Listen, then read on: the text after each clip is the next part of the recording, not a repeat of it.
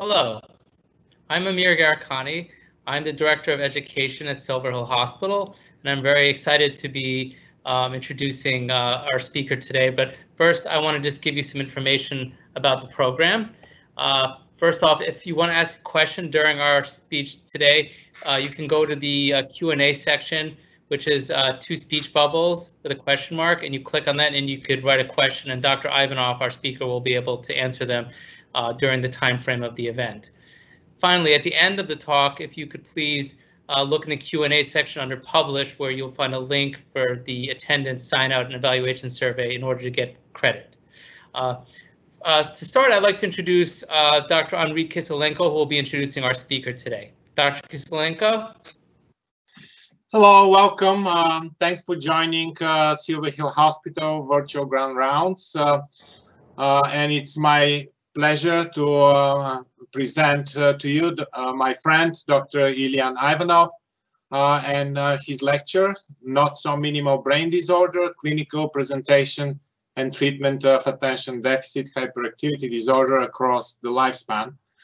Uh, Dr. Ivanov is an associate professor of psychiatry at the Icahn School of Medicine in New York and a medical director of two clinical programs at Mount Sinai St. Luke's Hospital in uh, his current position, Dr. Ivanov uh, uh, helps youths with attention deficit hyperactivity disorder, childhood trauma, mood and anxiety disorders, um, and substance abuse.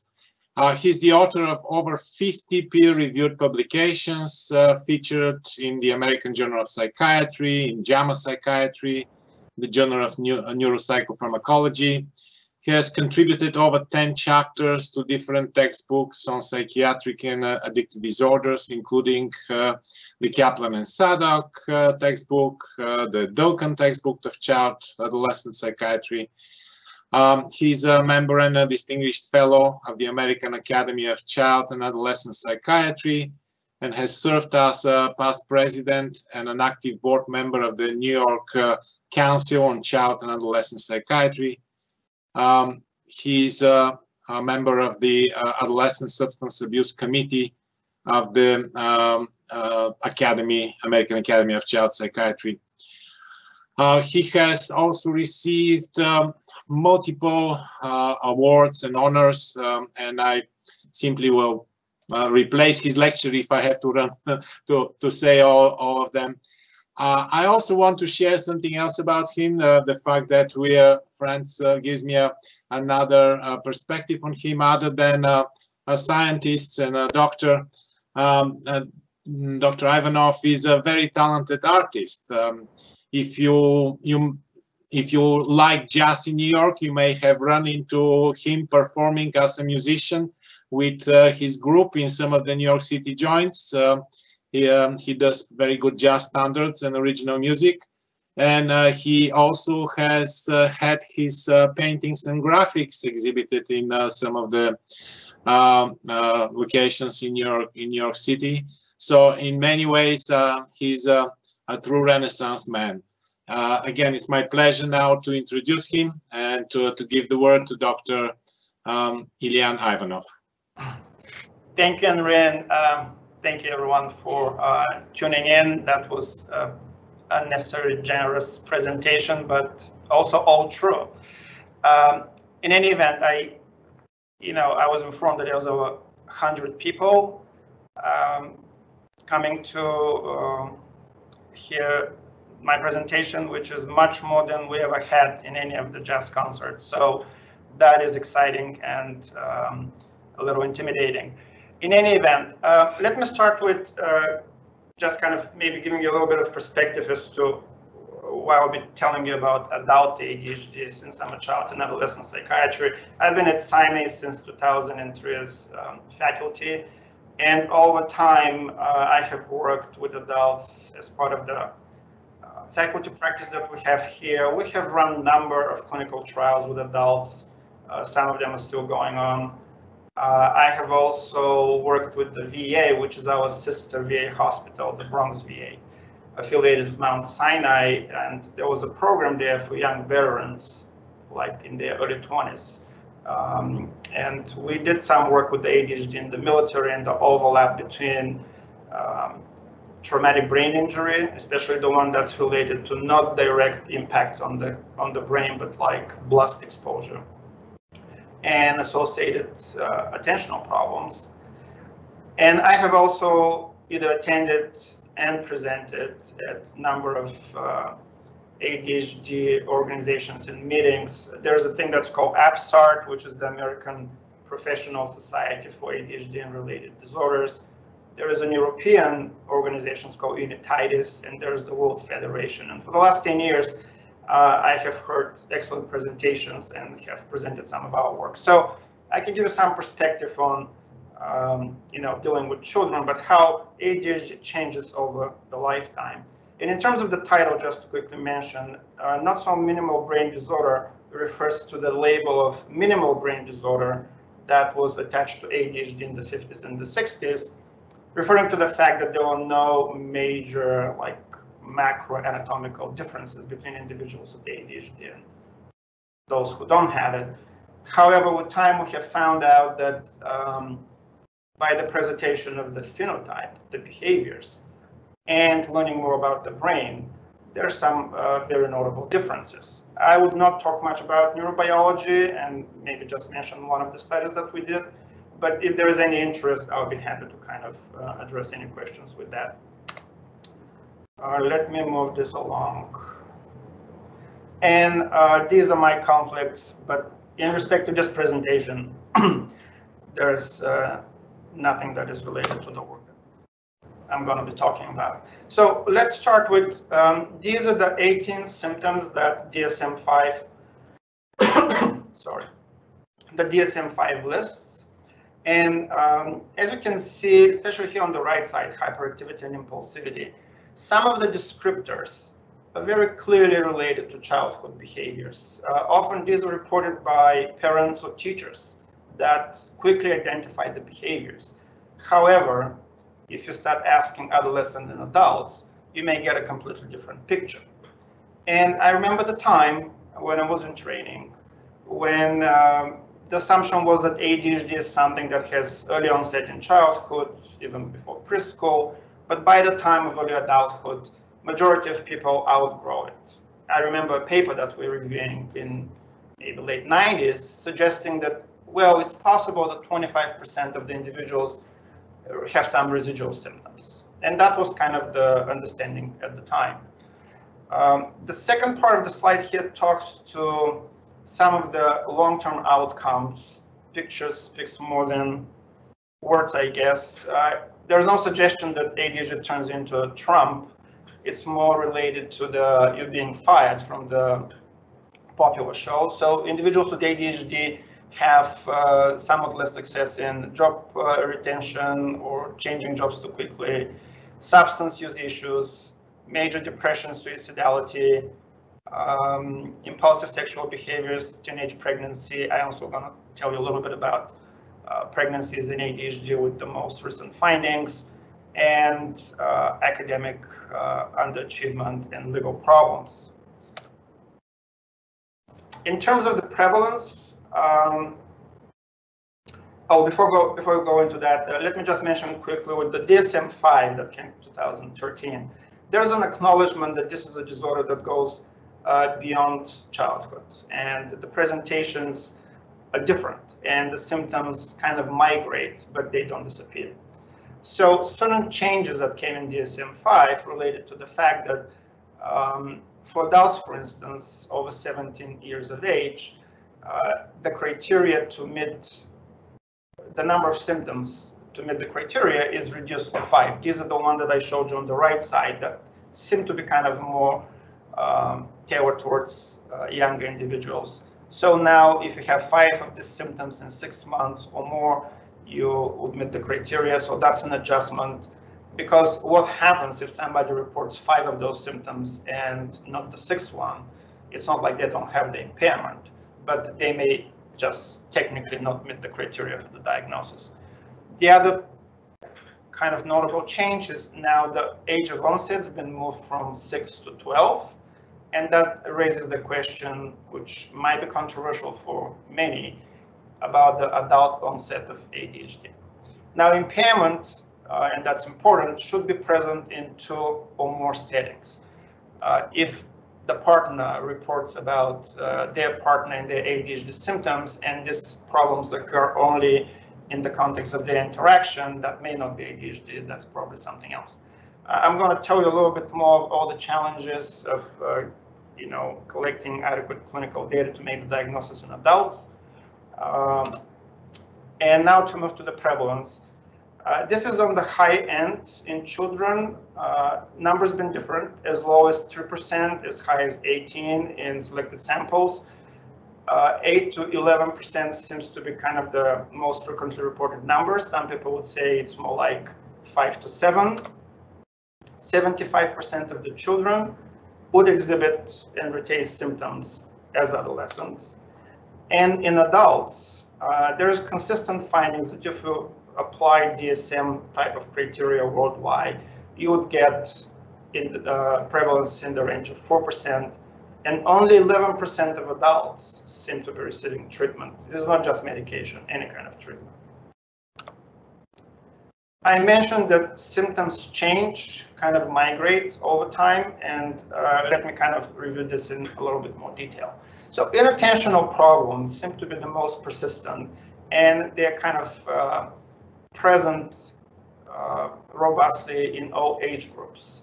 However, they change. So this is the DSM-5 symptom domains, and the common adult manifestation may not be necessarily difficult sustaining attention, doesn't listen, doesn't follow through, uh, but time management. And that's a very prominent feature of people who usually are late, usually late on coming to meetings, usually late on presenting their work, uh, deadlines with projects and things like it. Um, initiating tasks or doing uh, tasks that are due to a certain time in the 11th hour is a common presentation. Uh, often that results in maybe completing the task but doing some optimal work. Multitasking and procrastination. Many people would tell you that they wait college students, for instance, often say, often say, I just wait the day before the project's due, and then we scramble the very last minute, and you know, it is what it is. Um, there is also adaptive behaviors now with the availability of electronics. Uh, people use all kinds of reminders. People who may have supporting staff can benefit from that. There's also self-selected lifestyles. Uh, just a quick anecdote, but I remember a young man who came to us and he was working as a manager on a, a movie production uh, set. They were shooting like commercials and things like it. And when he was there, by his report, uh, he managed a number of people. He had two cell phones, three pagers. It's if you kind of imagine, it was like he was working in the emergency room. If you think of the medical setting, high intensity, quick changing demands for his job, and he claimed that he was doing pretty well. He hasn't been fired. So he was successful there, but he was running into trouble paying his bills, even at the danger of being evicted. And he was saying, this is the most boring thing you can do on the weekend, sit down. This is all the times when you write checks and send bills. And he was not doing it. He has piles of things that were overdue and uh, couldn't complete that task. Uh, in terms of the hyperactivity symptoms, these are the ones that uh, adults usually would not relate to and just may report they don't have it. In adulthood, hyperactivity seems to manifest mainly as a feeling of like tension, um, some necessity to move around, easily getting bored. And it could be adaptive. Sometimes people work long hours, do many things, multitask, or choose jobs that you know, involve a lot of change in the location, moving to different places or changing of the uh, task at hand. And impulsivity is, that, that's an interesting cluster of symptoms that in adults presents mainly as the, uh, this emotional outbursts, low frustration tolerance, impulsively quitting uh, your job uh, or breaking up with a partner, um, losing temper, driving, just I, I had families when the spouse says like he or she would, would kill us when something happens and the driving dramatically changes. And driving um, for ADHD individuals has been identified more and more as like an area of uh, significant problems. Um, hasty decisions and impulsive aggression, for the majority of cases, if this if the disorder is like around ADHD and not comorbid conduct problems, it usually uh, is uh, limited to verbal aggression, more kind of the outbursts and the insults and the arguing and uh, rarely manifests as physical aggression.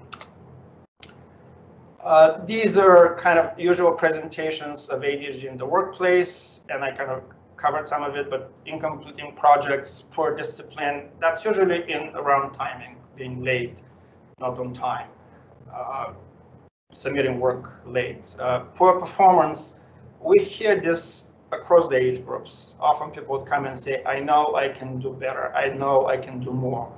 Uh, students, I could be, be an A, A and B student and I can barely make C's now.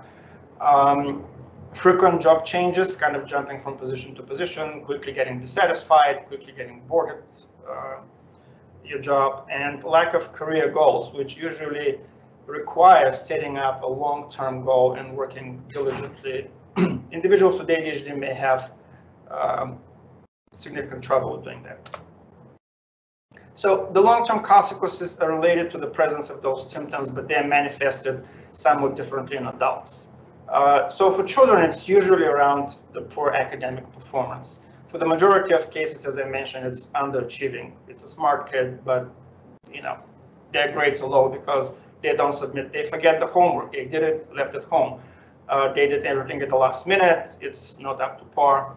And uh, it's often that uh, they either fail their grades, drop out from school, uh, or get suspended. Um, in terms of the adults, things that researchers have looked into is related to increased number of uh, STDs, uh, three times more likely to be currently unemployed, uh, more likely to be divorced, being involved in some legal issues. Tobacco is an interesting component because it's one of the substances that comes very consistently within the ADHD research. I wouldn't talk more about this now, but if people have questions, maybe later on. But things like nicotine use in pregnant women and the association of ADHD in the children, um, the effect of stimulant or non-stimulant treatment or treatment in general on uh, nicotine use. So nicotine has come over and over again uh, in relation to ADHD. Let me quickly review a couple of studies. Uh, there are several cohorts in the country and around the world that have followed individuals with ADHD longitudinally. So this is a study from NYU. It's famous in the ADHD field as the Mannuzza-Klein cohort, about 135 males with ADHD and 136 con controls, recruited at the age of eight.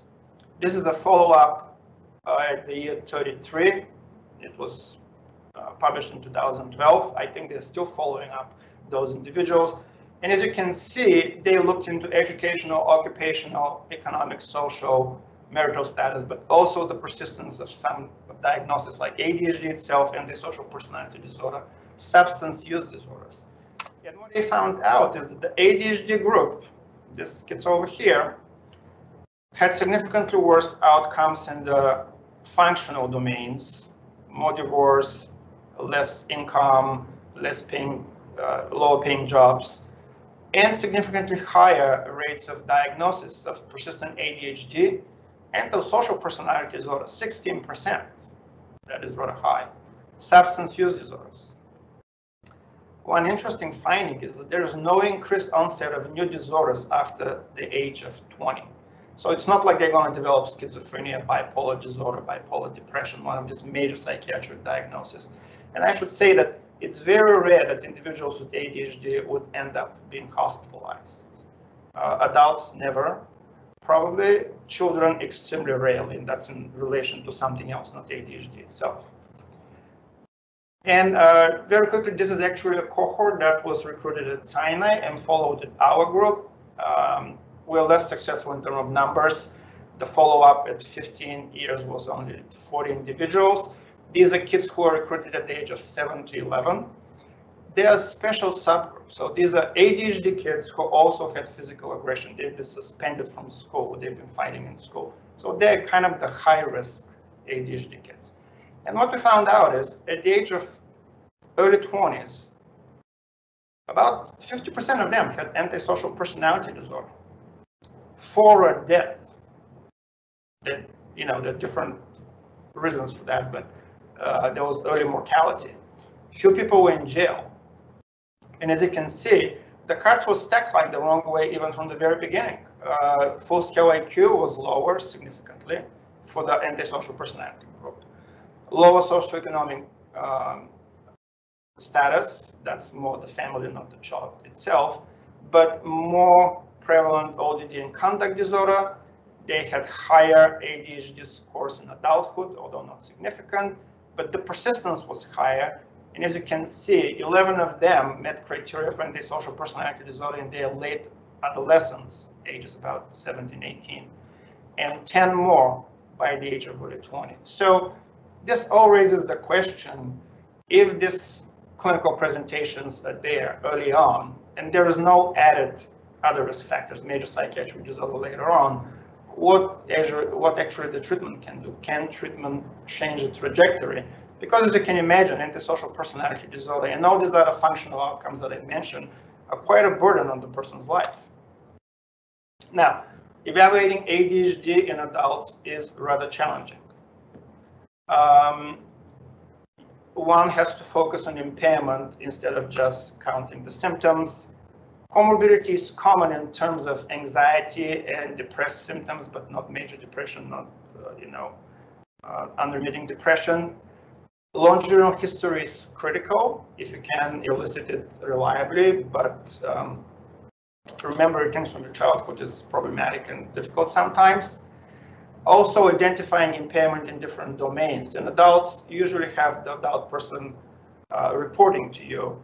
As I mentioned, there are some challenges when a spouse uh, partner reports on their partner. It's rare that you're going to call adult person's parents or their boss on that account. So um, these are additional difficulties of collecting relevant clinical data retrospective recall is problematic and there is no objective measure. Now, that being said, there's certainly a number of validated questionnaires that you can use. Uh, I wouldn't go in all details, but just highlight some of uh, these are questionnaires for adults and they have different features. So the brown is uh, something that focuses on more of the inattentive symptoms. So it's good for high function adults, inattentive subtype. Conners is the one that maybe uh, most of you are familiar with. Conners have developed scales that are developmentally adjusted for children, adolescents. So this is the adult rating scale. They are normed, they have a cutoff point, and that they usually map well into the DSM diagnosis.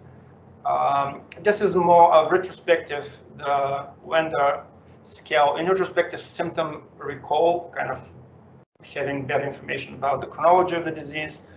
The Barkley scale focuses on the current symptoms, last six months. They are less interested in what is the history of the disorder, whereas Barkley's focus been actually on current impairment, and I'll talk a little bit more about it.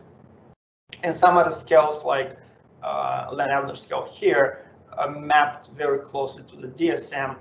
Um, this scale in particular uh, actually have prompts, so it's taken from the DSM-5 18 symptoms, but has prompts that are specific for adults. So when you administer the scale, you kind of adjust it and make adults understand better what they're reporting on. How about objective measures? Now, CPT, which is a Conners CPT, has been around for those of you, um, just quick reminder, but the CPT is a computer scale. You do it on a computer like this. You press the space bar anytime you see a letter different than X you press on A, on the B's, on the C's, on the Z's, T's, and whatever it might be.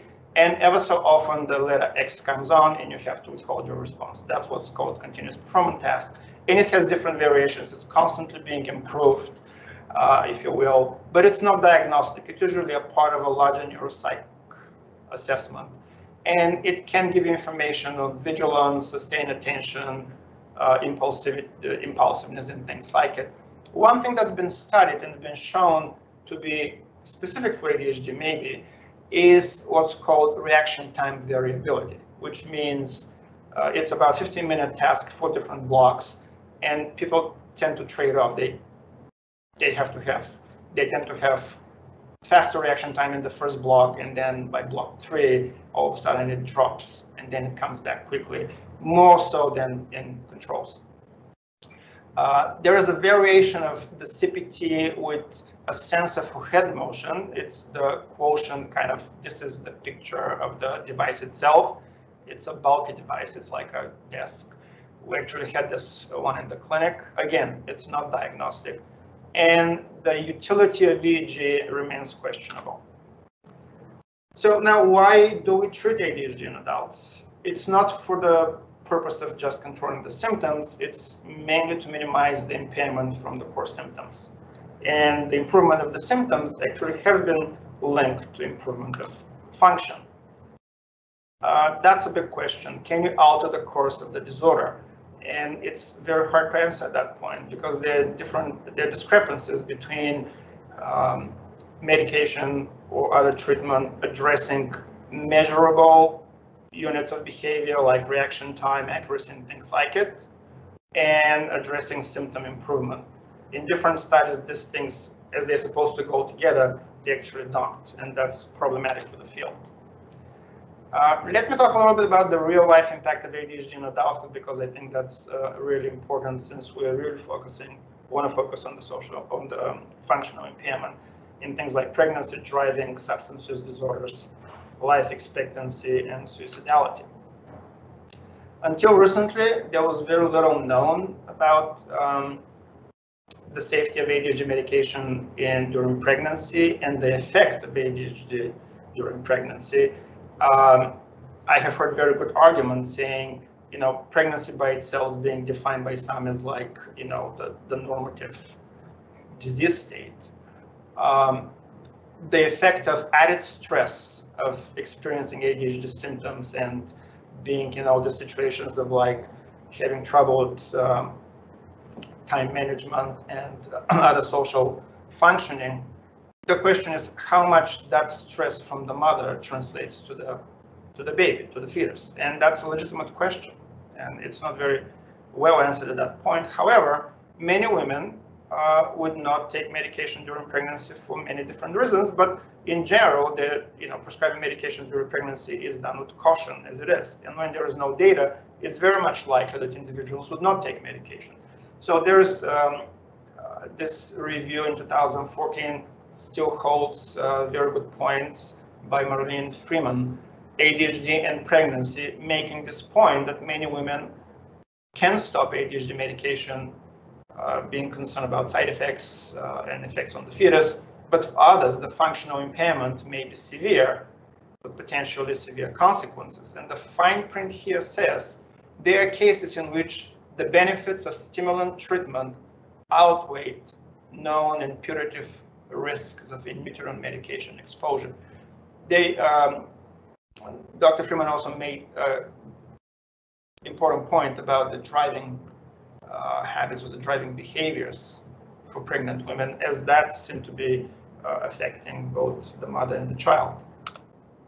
And so recently, within the last couple of years, new data has emerged from this big data consortia and big data uh, repositories looking into the teratogenic and other effects of treatment, stimulant treatment in particular, during pregnancy. So this is a report from 2018. As you can see, over a million, close to 2 million pregnancy it's replicated in uh, data from the Nordic countries, Northern Europe, in about two and a half million pregnancies. And the highlight here is methylphenidate, but not amphetamine. So one of the stimulant classes was associated with a small increase in the risk of cardiac malformation. And this is a study by um, David Cohen at Harvard. He actually presented the abstract in January. Um, it was an excellent presentation on ADHD and pregnancy and medication use. And if you uh, can find any of his presentations on the web or any of the papers, it's actually worth listening to. Uh, they've done uh, assessments uh, in respect to the amphetamine, methylphenidate, and atomoxetine treatment in early pregnancy and the association with preeclampsia and eclampsia. And there was a very small increased risk. And the summary is that due to the small increase in risk uh, in women with significant ADHD, uh, these patients should not be counseled on discontinuing their medication during pregnancy. So there is data now from um, huge data sets suggesting that yes, there is some risk. The risk is very small and probably uh, the benefit outweighs the. I mentioned uh, ADHD and driving, and uh, this point has been kind of more and more emphasized in the last maybe the last decade. Some people feel that individuals with ADHD have a responsibility, or at least should be mindful when they engage in driving other than just reparking their car to be on their medication. so Russ Barkley has spoken about, uh, you know, many of us take driving as like uh, almost like a habit, you know, you put it on autopilot and you go where you need to go and meanwhile you have other things going on and you're thinking about something else. Uh, however, the, the whole behavior around driving is rather complex and he breaks it down to some operational competencies, simple as like a reaction time and ability to orient and kind of shift attention is needed. Uh, then tactical competency, kind of how you move when the traffic gets more challenging and when there is more cars on the road, how you navigate safely through that. And then the strategic, like how well do you plan so you can go somewhere on time or not be too late instead of getting frustrated. And of course, with frustration comes impulsive behaviors. So the point here is that individuals with ADHD tend to show tendency to be more frequently involved in motor vehicle accidents, some of them with you know fatal outcomes, not for them only, but for others. And it's almost like an ethical question that's been raised as to do they have responsibility to take their medication when they driving. Now, uh, Russ Barkley has pushed the issue of like impact of ADHD on the well-being of the individual even further. So more recently, he has looked into the life expectancy, the estimated life expectancy in individuals with ADHD, and have identified areas of um, you know negative outcomes like accidental injuries, adverse driving outcomes, as I mentioned, increased suicide risk, likelihood to be involved in violent crime, not just the verbal, the reactive aggression. Somebody gets very upset and then get physical with others. Uh, intimate partner violence. Uh, interesting, ADHD, and that's consistently been shown, uh, is also associated with higher rates of seizure disorders, as well as uh, obesity, poor eating habits, uh, other medical conditions, and poor preventive health. So the highlight here is, and the conclusion from a couple of publications, one is on the web, the other one is in print, is that childhood ADHD predicts a significantly reduced by almost by a decade estimated life expectancies in adulthood, which is further, uh, it's not reduced, it's increased, sorry for that, by the persistence of ADHD. Well, it's the reduces the expectancy. So from 10 to almost 13 years. So it's over a decade of human life. That is not necessarily related to ADHD per se, but all these satellite impairments, if you will, or comorbidities or related conditions that have this negative impact on life expectancy. I mean, this notion hasn't caught fire. It has its critics, even in the ADHD community, but I think in general, it just raises the question of awareness about life expectancy in individuals with psychiatric disorders. And we know that the cross diagnosis that is uh, going in the same direction, which is reduced life expectancy. Uh, this is a brand new publication, just came out a couple of months, um, from a group. There's actually two groups. One is uh, D'Onofrio group, which is the senior author that's based in Indianapolis, Indiana University, and uh, the first order is from Hong Kong. So they've used uh, combined data sets Some of them are from insurance company claims, some of them are from governmental uh, registries. As you can see, the numbers are like staggering and very high, close to 4 million individuals, uh, half of them females. And the conclusion of that publication is that stimulants significantly associated with significant reduction of risk for suicide. And the non-stimulants did not increase the risk for suicide. As you remember, one of the non-stimulants is an antidepressant, and antidepressants have been associated with some increased risk for suicide. And similar studies have come out to look into other functional outcomes, suggesting that consistent treatment is associated with reduction in criminality, injuries, accidents, academic failure, and things like it. So these are the more recent uh, publications with the last couple of years. The other concern in terms of functioning and uh, functional outcomes is the uh, possibility that stimulants could be misused, abused, diverted. Uh, I know that um, many clinicians feel uncomfortable many patients certainly feel uncomfortable. And this is a recent publication from 2019 in what's called the Orange Journal. Uh, this is the Journal of the Child and Adolescent, um, the uh, American Academy of Child and Adolescent Psychiatry. And what you see here, these are, uh, these are terms that are used by different publications, so there is a considerable amount of overlap. This is non-medical use, abuse, misuse, diversion, they can mean similar things. It's uh, not the discretion of the authors, the discretion of people who published the articles before that. That means somebody obtained the medication from a family member, from friends, colleagues, peers at school, peers at um, other locations. And as you can see, each dot represents individual present uh, individual publication, and the range of uh, reports uh, quite wide, as low as 2%, almost 60%, from 0.7 to 80. So there's enough information out there for us to be really concerned. One thing to keep in mind is that when some people consider ADHD by itself to be kind of a risk factor for the development of adolescent substance use, adolescents in general are a population group that have high rates of experimentation with drugs. And uh, although there's a difference, but for most part, this difference is not that large and not significant. This is from our cohort looking into ADHD and controls and the rates of drug use and alcohol. And uh, this is more prominent here. And again, they're different, but it's not like the non-ADHD population doesn't experiment.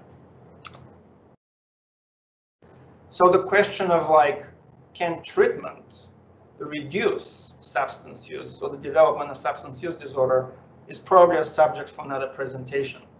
Uh, we actually have done, in terms of research, uh, quite a bit of work into looking into into that. There is a lot of data out there that has to be kind of carefully reviewed because they're conflicting conflicting reports. And uh, one thing I would like to mention in terms of neurobiology, ADHD and substance use seem to share biological underpinnings that could be suggestive that if you expose a child early on to an abusable substance like the amphetamines, you might be changing something in the brain.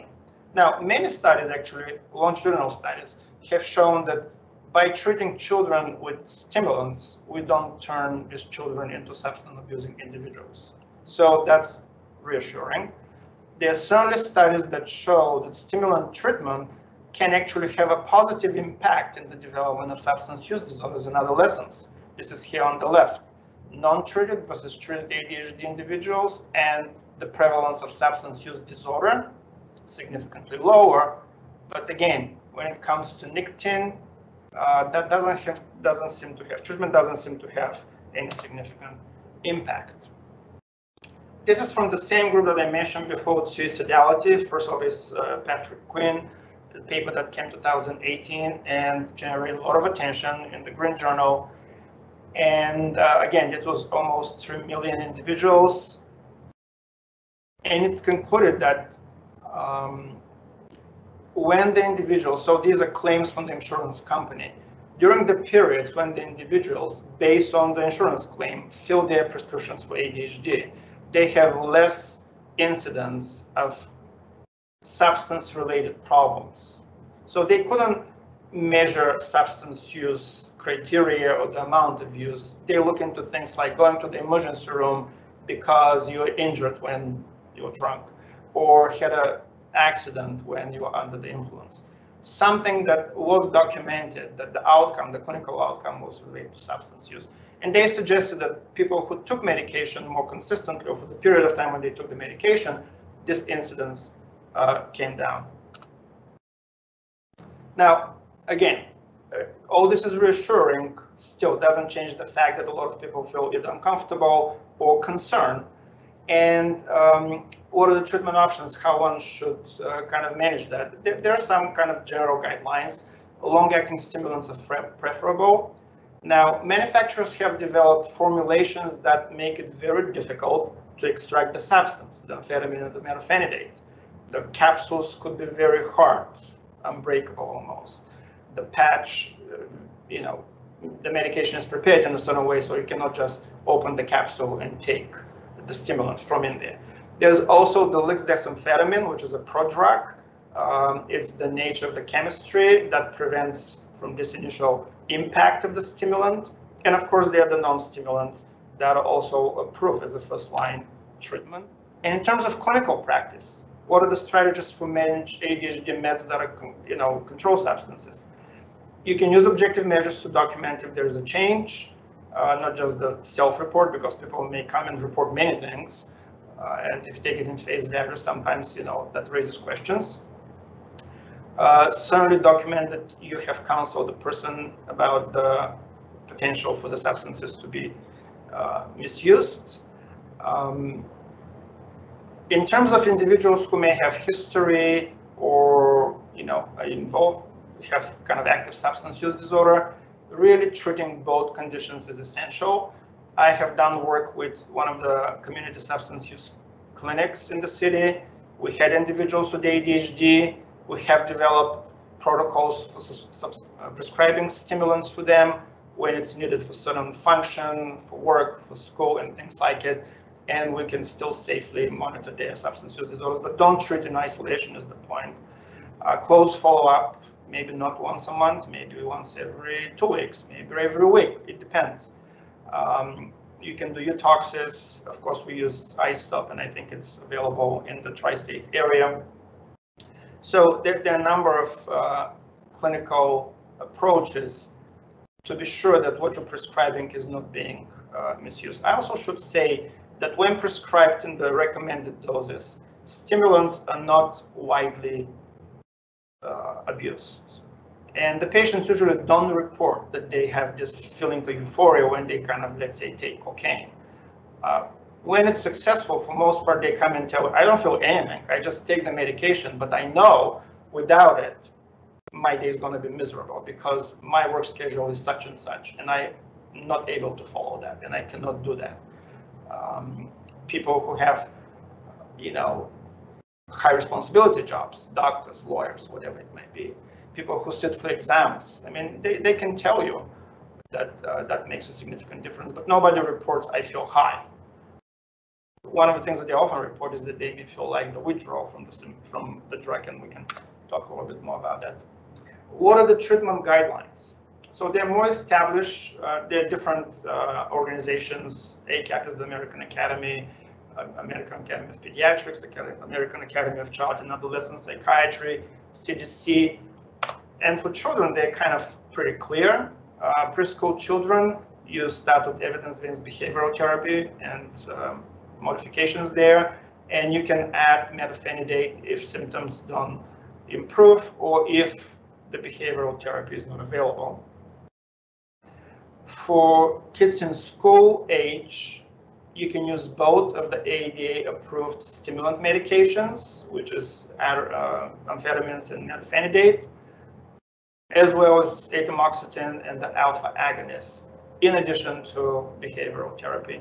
And there is no guideline for adults, but they're being extrapolated mainly from the uh, guidelines. Now, environmental modifications for individuals with ADHD pay off. Uh, these are things like, again, many of us may take this for granted and like common sense. You'll be surprised how often patients don't think about those things. But, you know, kind of control the environment. There are many things that you can do. How you're you going to do work? Um, you know, be in a room that is in general quiet, avoid distractors, have organizers, electronic reminders, establish centers when you always put your keys in that particular place. You always put the bills in that other place, or whatever it might be. People with ADHD often come and tell you they lose things left and right, keys, passports, their wallets, whatever it is. Um, and one of the first studies actually has come from here, from Mount Sinai Mary Solanto. There's this metacognitive training for adults with ADHD in group setting that broke down uh, the time management organization skill planning and training into didactic. So they have a couple of sessions when they educated people. Then they have in-session exercises and then people had home assignments and they came back and reported. So it was kind of a 12, um, 8 to 12, I think they, they varied uh, group sessions. And what they've shown here is in terms of the DSM inattention and hyperactivity scores, pre-test to post-test, there was a significant, you know, reduction. And the change in the T-score was significant for the metacognitive therapy. This is the red line. Whereas support as usual pretty much didn't uh, yield any uh, any changes. Now, I'll talk a little bit about, well, for the rest of the presentation, I'm going to talk about the medication. It won't be a little bit. And this is a busy slide that summarizes the two groups of stimulants, uh, short, intermediate, and long-acting, the non-stimulant medication, and some investigational drugs. You would have the PDF, so let me not spend much time on that particular slide, other than to say the four classes of medication that are considered first-line treatment for ADHD, all of them have shown um, clinical efficacy. Uh, stimulants, everybody's familiar with those. There, there's, in terms of uh, mechanism of action, they have an effect on increasing the level of dopamine and norepinephrine in the synaptic cleft by either inhibiting the reuptake, which is by inhibiting the transporter that clears these chemicals, or inhibiting the receptor that takes the chemical back and also increasing the release uh, from the uh, vesicle. So it's the the end result is uh, increased level of dopamine and norepinephrine in the synapse. And this is a older paper, but I think it still holds true in terms of the level of response to the two classes of medication, either individually to amphetamine and methylphenidate. Amphetamine has an H here, or equal response to both. So these individuals who preferentially respond to amphetamine, about 28%. 16 preferentially respond to MPH. That might be because they couldn't tolerate the other medication. 40% respond to both. Cumulatively, this is over 70%, you 80% response, which um, I'm not sure how many other medications in psychiatry or in medicine in general can show that.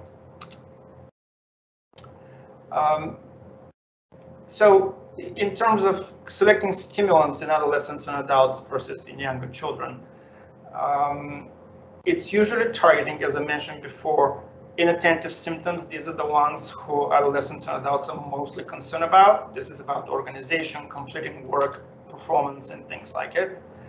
Um, there's a need to treatment is extended for longer periods of time, meaning, you know, if you have a job that you go to every day, and your medication makes a huge difference, you probably should be on the medication for as long as you have a job.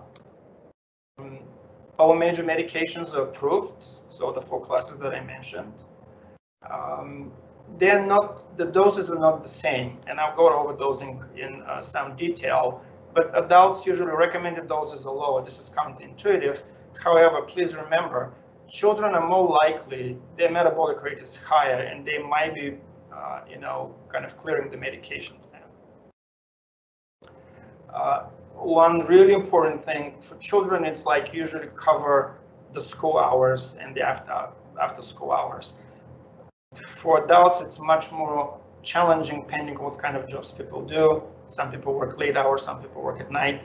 So um, coverage throughout the day is important. And the safety considerations, uh, you know, there are a number of side effects, but for children um, with very kind of accidental reports, like really single digits, um, we have not major concerns. However, cardiac events and other comorbid conditions in adults are really to be monitored closely. So in terms of the dose titration and efficacy, um, stimulants are dosed by kilogram. So methylphenidate is one milligram per kilogram daily. Um, you don't always want to go somebody who is like 100 kilograms and give them 100 milligrams of uh, stimulant. So that's one of the challenge. Amphetamines is like twice as potent, so the dose is uh, lower, 0.5. You can titrate as fast as every couple of days, maybe every week.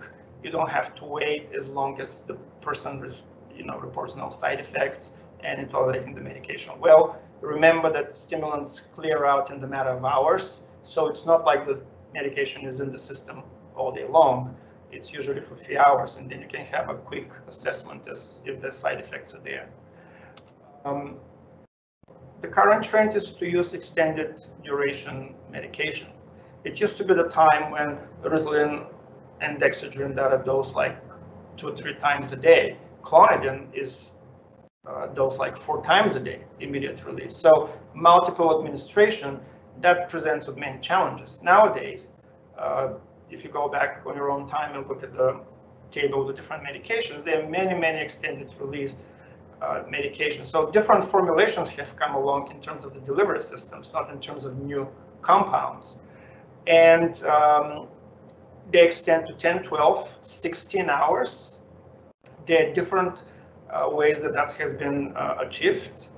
And um, there is one of the challenges is to really, if you need to combine extended release with immediate release formulations, that sometimes is necessary because the portion of the medication that comes as immediate release in the morning and then in the afternoon varies among different formulations. They could be as low as 20% immediate and almost 80% extended release to 50-50. So uh, sometimes some individuals say they need more medication in the morning, or if the medication clears fast, they may need additional medication late in the afternoon.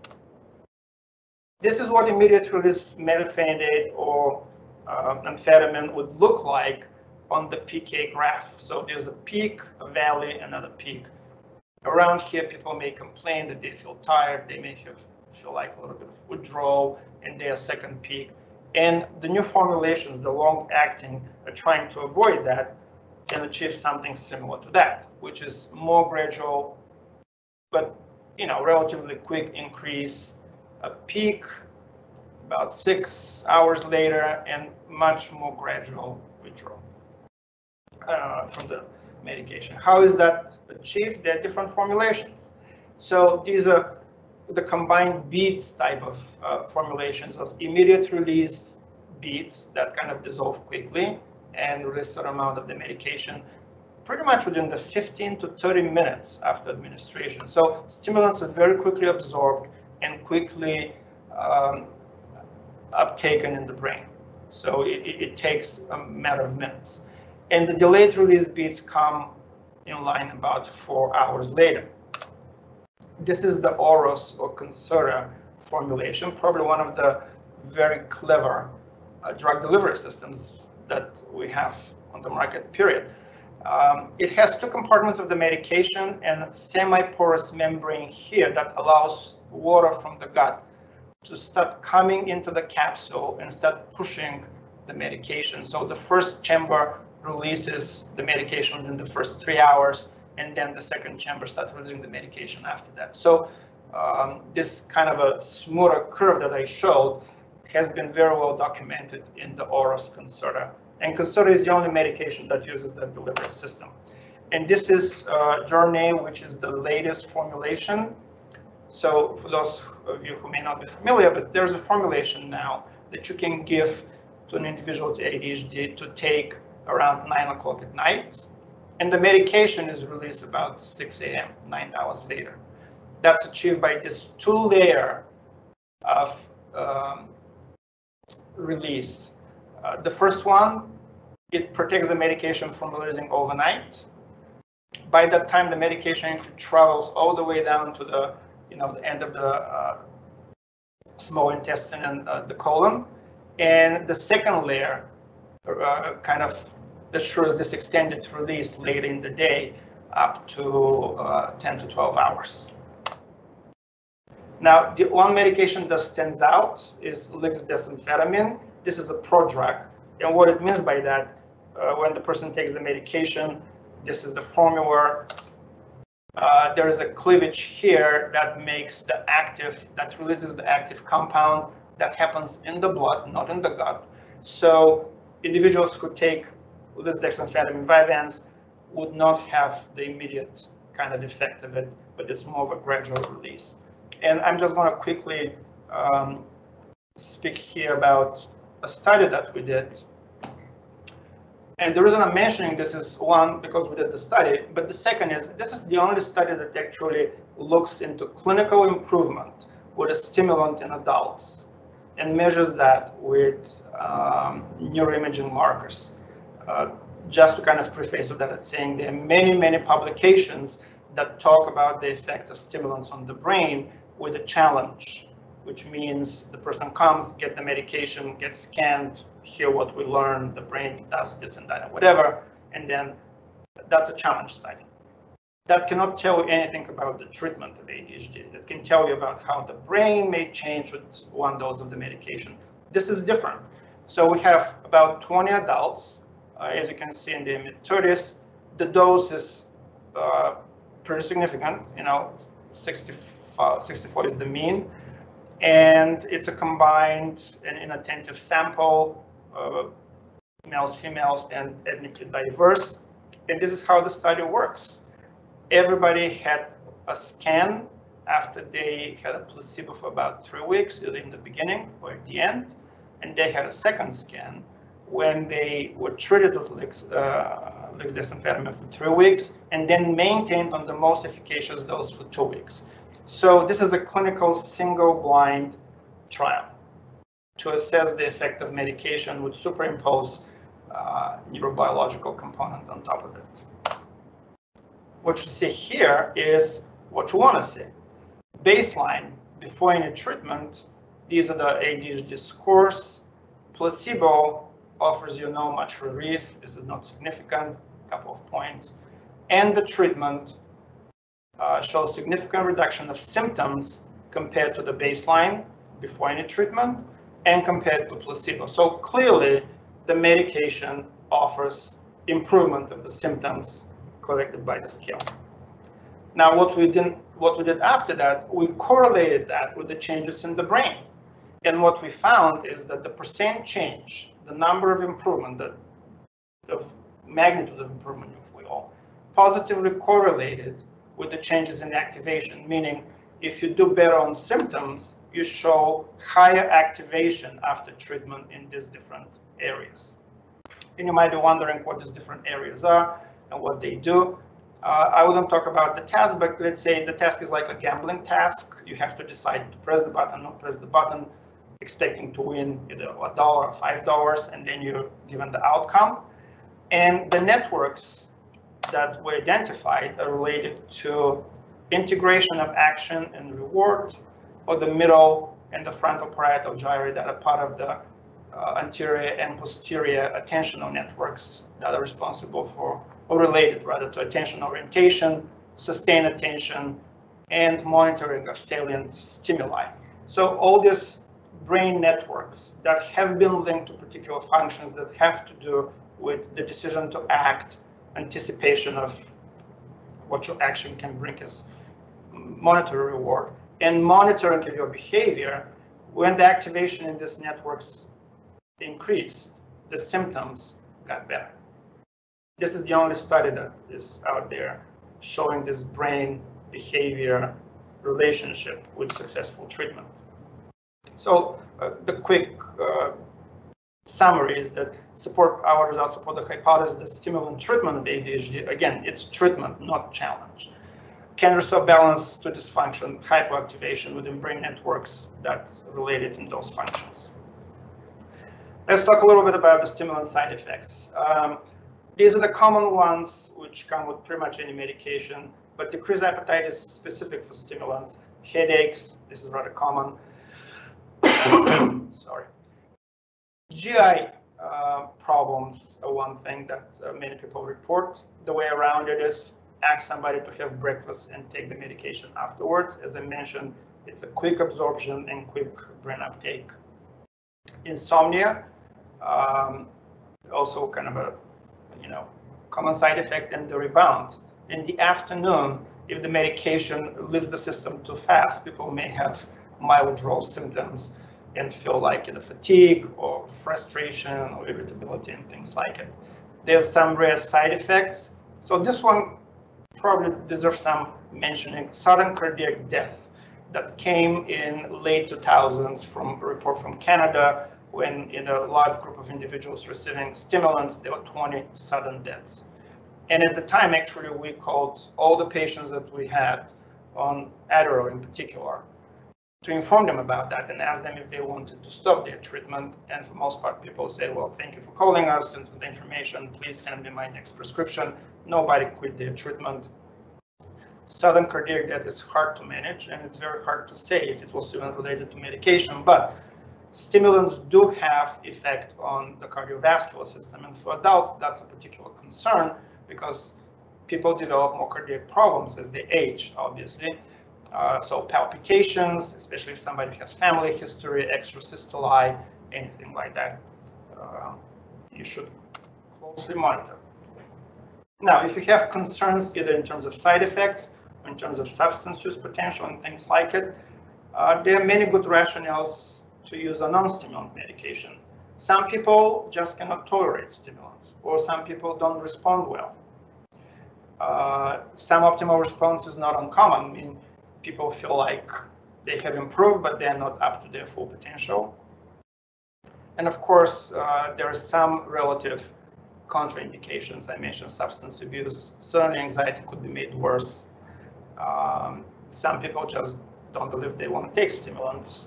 And um, th there are also logistics of prescribing the drug that you have to issue a prescription every month. It's controlled. Uh, some people don't want to go through the trouble of doing that. So atomoxetine came uh, on the market about um, now 20 years ago. And that's one of the first publications showing that the initial studies uh, kind of clearly demonstrated effect separation from placebo at week two. And this is close to like three months. And this improvement has been sustained throughout the trial. One interesting aspect of atomoxetine is this kind of a bimodal response, meaning some people this is about close to 50%, maybe the percentage might be lower, have kind of an excellent response, which is more than 40% reduction of symptoms. Good percentage of people have minimal to no response. And there's another 15% that have an intermediate response. So when atomoxetine came, many people clearly said, no, it's not as effective as a stimulant it has other ways. You have to take it every day. It's a build-up effect. You need to take it for about three to four weeks, maybe. However, whoever responds to stimulant, and that's not untrue for many other psychiatric medications, they respond really well. Uh, in terms of dosing, it's also dose per kilogram. The recommended dose is 1.4. There's plenty of good safety data for 1.8 milligrams per kilo. Um, however, there's little evidence of incremental improvement with higher doses, but some have gone to three milligrams for you know large adults. Um, one rare side effect um, is um, I have it here.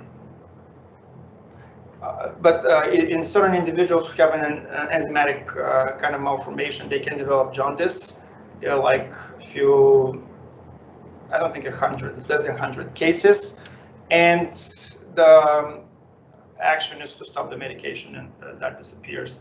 uh, poor metabolizers can certainly need lower dose of the medication. Oh, I had it on that slide. So this is the rare uh, hepatic hepatitis. Um, it doesn't require any specific, I mean, you can certainly send for blood tests like bilirubin and things like it, but you have to monitor for, uh, you know, the signs of jaundice. And uh, if any of that is there, just discontinue the medication. And these are more trivial side effects.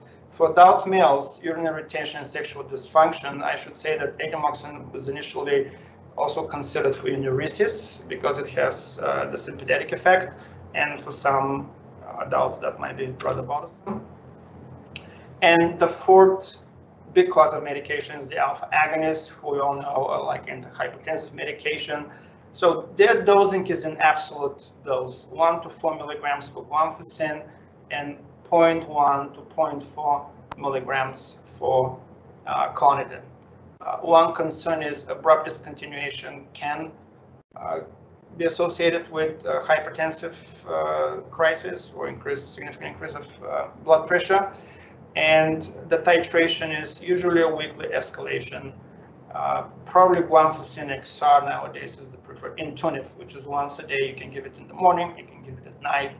And if you build up, just advise your patients not to abruptly discontinue the medication the effect size is comparable with atomoxetine, but for both atomoxetine and stimulants, the effect size is low. Uh, I mean, atomoxetine and alpha agonists, the effect size is lower than stimulants. Uh, again, there are some uh, uh, very common side effects. A common side effect is actually sedation. Uh, some people do suggest that alpha agonists don't necessarily treat ADHD per se, but they just sedate the person. So kids are kind of more sedated, feeling more tired, their blood pressure is lower, so they're not as active.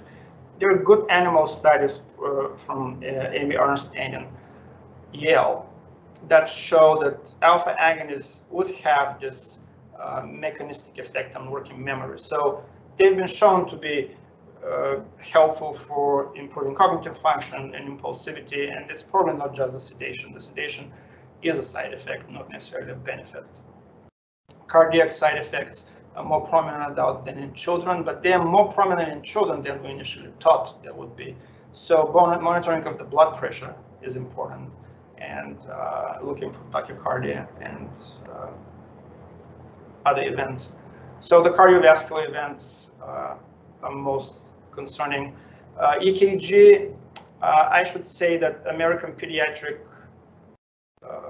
the American Academy of Pediatrics has cleared stimulants and non-stimulants from baseline EKG if you want to study these medications in children, except for family history. In adults, I think you have to have a good personal history and be, you know, kind of mindful of what is the person's uh, cardiac condition. So let me move to the summary and the conclusions of the talk. So ADHD is a complex, multifaceted neurodevelopmental disorder. It has strong biological basis. We don't talk much about that, but I think people by now should be convinced. It begins in childhood. It persists over the lifespan. I mentioned initially that we thought maybe 25%.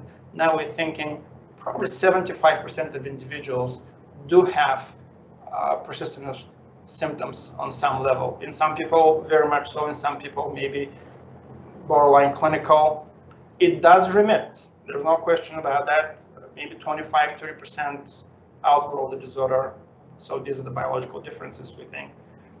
High degree of impairment and societal cost. The effective treatments that impact multiple brain regions. I spoke a little bit about that. But again, there's a sizable literature that shows changes with the administration of medications. And these are networks related to attention, orientation, motivation, all these essential factors that represent the co-symptoms of the disorder. There are numerous medication options that show very good response. Just to summarize, but the effect size for stimulants sometimes goes above one, which is a huge effect size. And non-stimulants like atomoxetine and guanfacine are usually the 0.5, 0.7 range, which is a very good response. Stimulants generally more effective than non-stimulants if you judge by the effect size, Non-stimulants have a major role in the treatment of ADHD and comorbidity. Anxiety, uh, atomoxetine was initially developed as an antidepressant, and also comorbid substance use disorder. However, you have to have the treatment for the substance use disorder added to uh, if you're treating somebody for ADHD. Symptoms often persist over time despite treatment. If you stop treatment, the symptoms often come back. Uh, there is no length of treatment that would cure the symptoms. But just keep in mind, symptoms, like anything else, fluctuate. Combined treatment can offer benefits in selected cases, combined between non-stimulant and stimulant, or immediate release and extended release stimulant. Uh, and you always have to consider some form of psychosocial treatment because um, for most cases, actually, patients would prefer to start with that. And I would finish with that. I want to thank you all for tuning in. I hope most of the people stayed for the presentation. Um, I want to acknowledge that um, my mentor and colleague Jeff Newcorn, who is a kind of a world authority on ADHD, uh, has uh, helped me over the years and has provided some of the slides for that presentation as well. Uh, and I'll be happy to answer any of your questions. Thank you one more time. Thank you, Dr. Ivanov. So I wanted to thank everybody for attending the talk. Uh, I'm going to take uh, some questions now. Let's start uh, with a question that was asked several times, um, and it's about anxiety and ADHD, about how do you differentiate between the two, but also how do you treat patients who have anxiety and ADHD. Oh, sorry, he's muted there.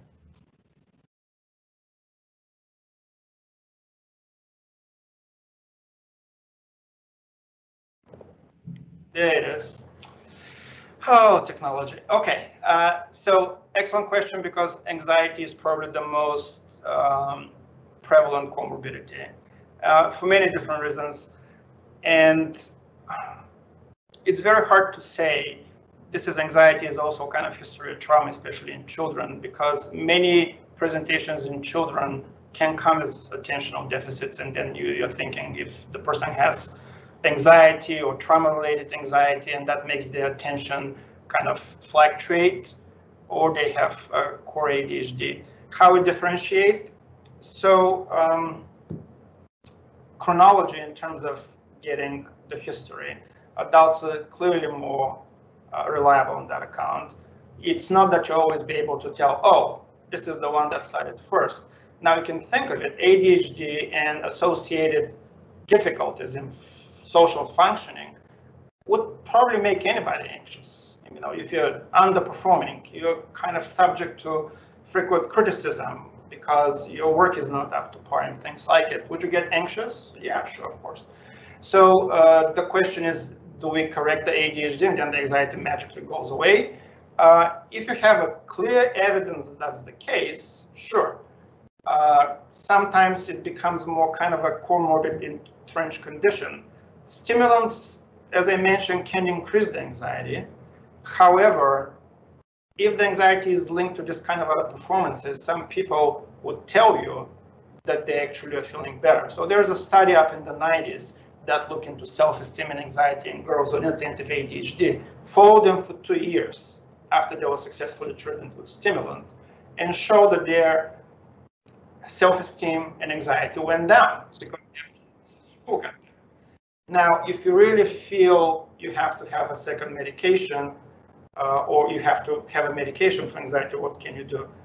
Um, so atomoxetine has shown efficacy for both mood and anxiety symptoms. So my first choice would be to suggest to somebody, how about we try atomoxetine?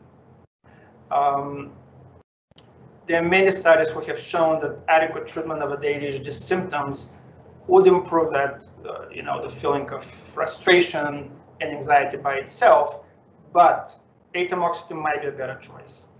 Your other option would be to just add a medication.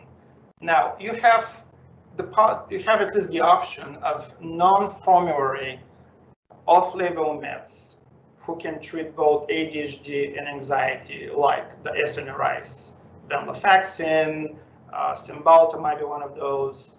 Um, Viloxazine would probably get an approval for ADHD coming up soon. So certain antidepressants that have both SNRI and um, dopaminergic effect or noradrenergic effect rather, they could be used to tackle both ADHD and anxiety. So the option is either push the stimulant and you hope that anxiety related to ADHD symptoms would subside, switch to a non-stimulant that can treat mainly ADHD but maybe help with anxiety as well, combine stimulant with any anti-anxiety medication, or you can treat ADHD off-label with something like Effexor or Cymbalta.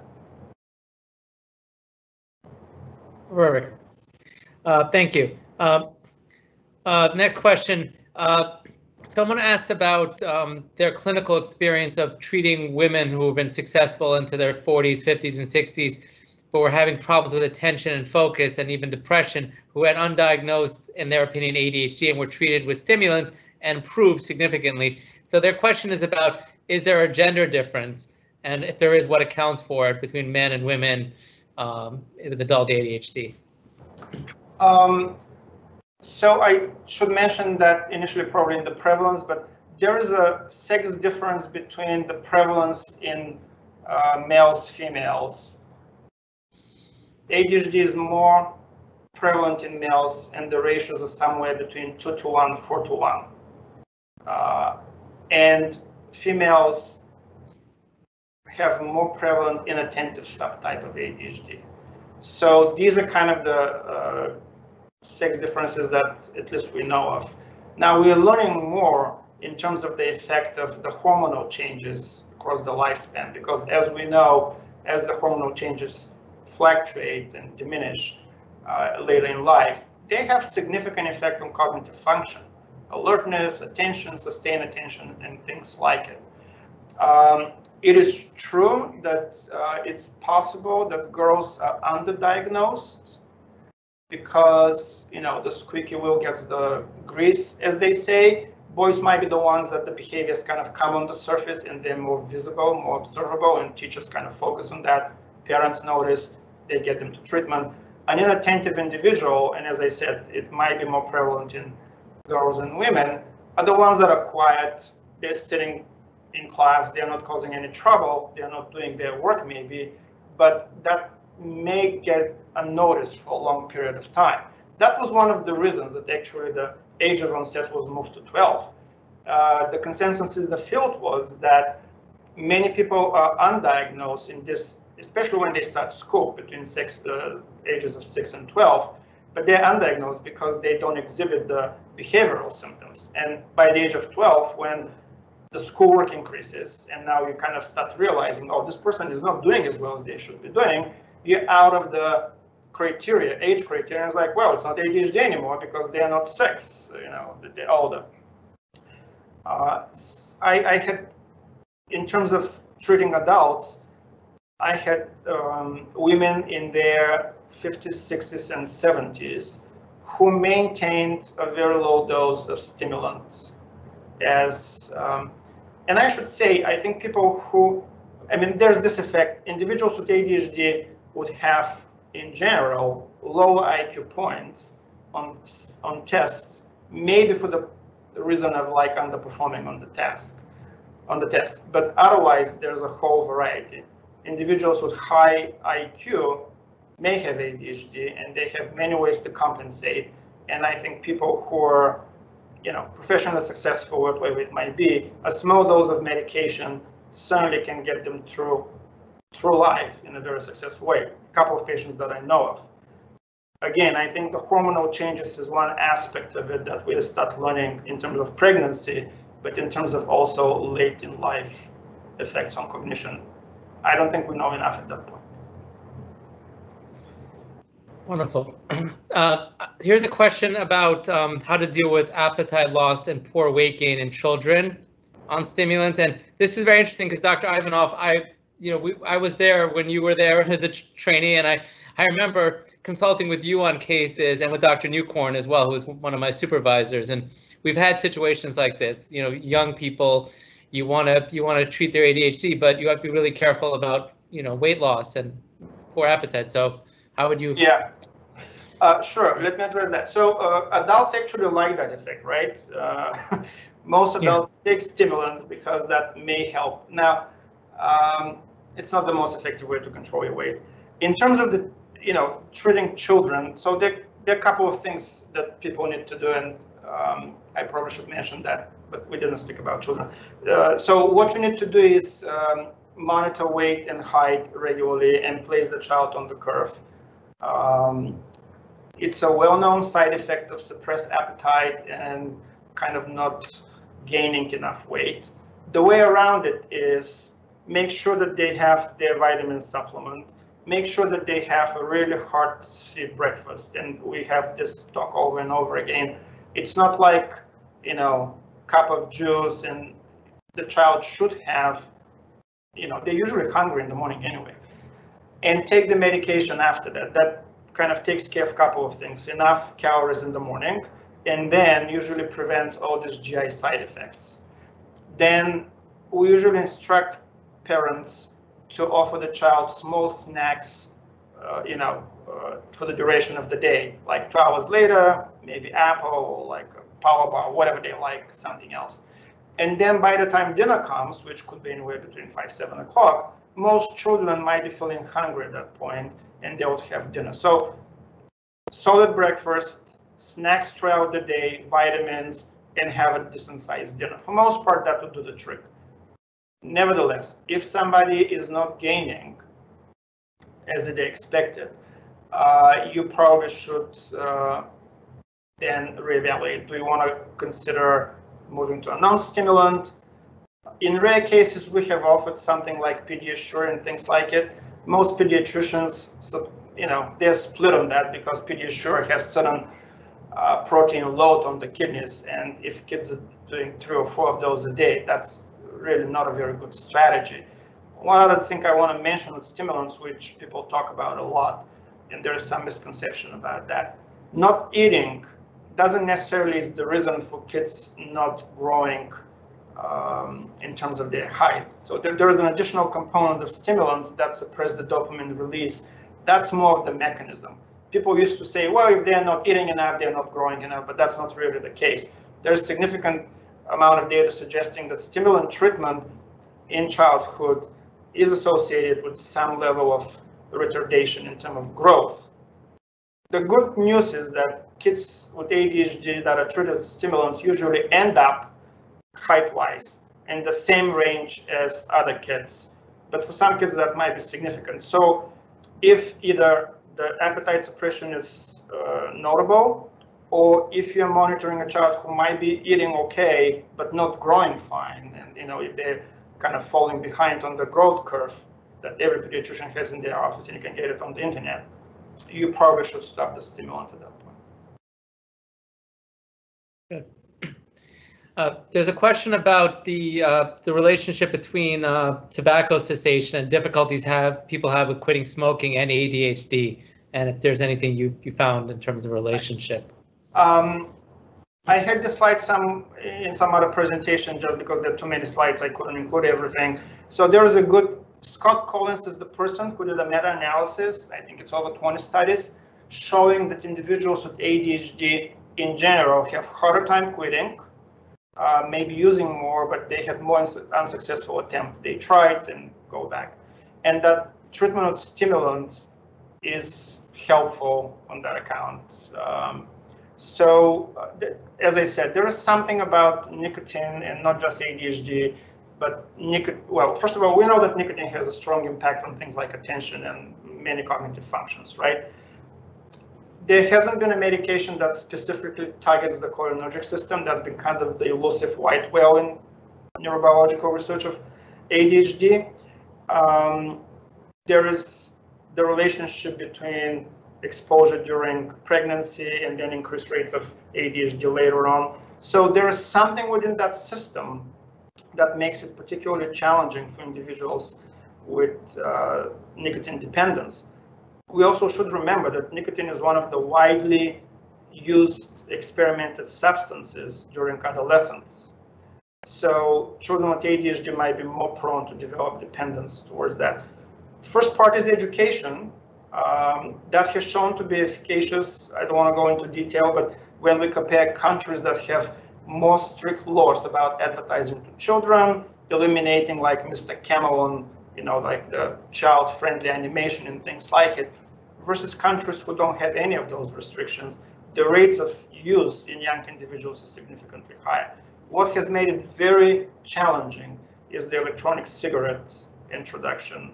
We have seen a big uptake in use of uh, electronic products in adolescents who are getting addicted to the nicotine because now it's safer kind of thing.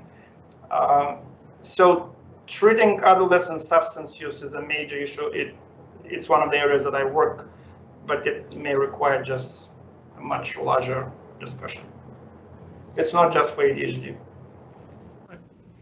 I think we have time for one more question. Sure. Um, and then we'll wrap it up. And I want to thank you again, Dr. Ivanov, for, for doing this. I, I haven't seen you in a while since I saw you play guitar with the Shrinks.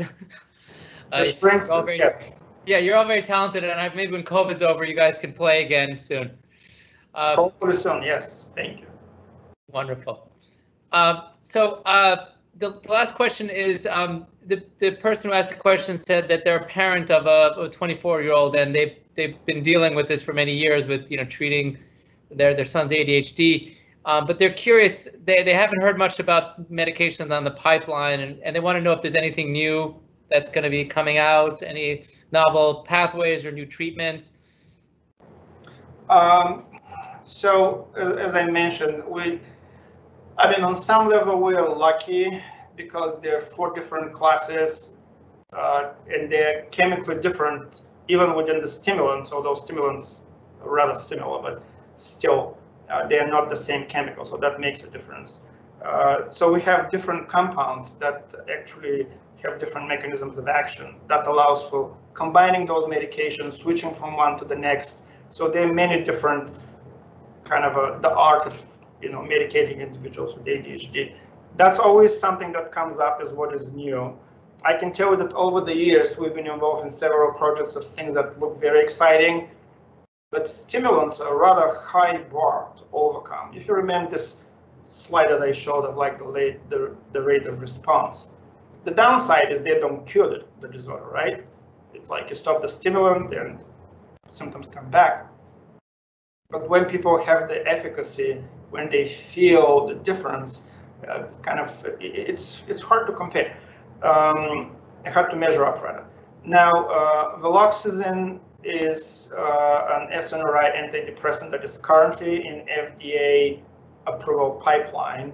And some people that I talked to, uh, including Jeff Newcorn actually, um, they anticipate that it's going to be out with, you know, an approval uh, from the FDA by the end of the year. To be probably the first of the antidepressant. Vortioxetine was studied, which is the um, new antidepressant on the block. Uh, I don't think it got much far.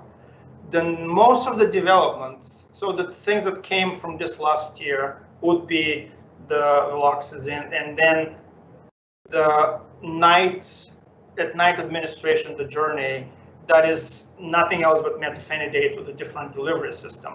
There is a interesting story around the company that manufactured that that deserves probably its own time. Uh, however, they almost went bankrupt and then they kind of pretty much get resurrected.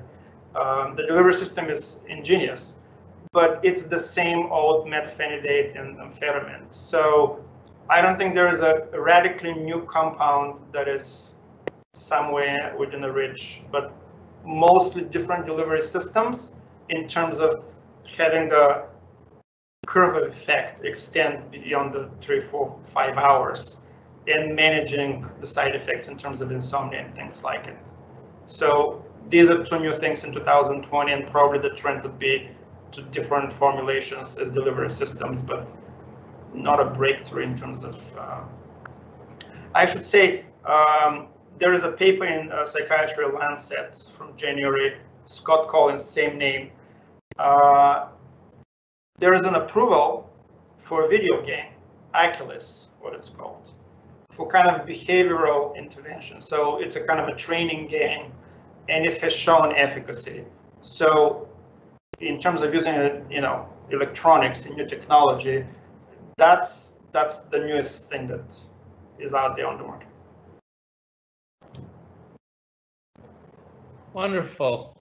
Uh, well, thank you so much, Dr. Ivanov, for, for this really you all. wonderful talk. It was, it was very, very helpful. If, if you want to publish, um, go to the publish section and fill out the, the questionnaire. And again, thank you so much. And it was really stimulating and very exciting talk. I'm glad that I hope people enjoyed it, and thanks again for inviting me. Thank you. Thank you. Bye. Take care. Bye.